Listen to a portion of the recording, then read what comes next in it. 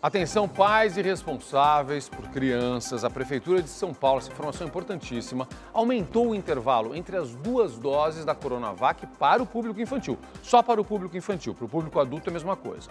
Antes, a segunda dose da vacina contra a Covid-19 do Instituto Butantan deveria ser tomada 14 dias após a primeira, como nos adultos. Agora, o intervalo será de 28 dias. O motivo, segundo a Prefeitura, é apenas operacional, uma orientação do Instituto Butantan. As unidades básicas de saúde vão entrar em contato com os pais se for necessário reagendar a data do retorno das crianças.